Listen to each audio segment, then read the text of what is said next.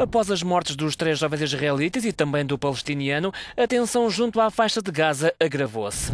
Em resposta a alegados ataques com rockets provenientes de Gaza, o exército israelita respondeu com raids aéreos contra posições do Hamas. Após os bombardeamentos, o movimento palestiniano de resistência islâmica intensificou por seu lado os protestos de rua contra Israel. Um porta-voz do Hamas acusou os israelitas de quererem apenas matar mais palestinianos. A escalada de violência que prossegue na faixa de Gaza destina-se apenas a lançar a confusão, a aumentar o número de assassinatos e a agravar a destruição e o derrame de sangue. É uma mera tentativa de Israel de desviar a atenção do povo da Palestina da colonização judaica de Jerusalém.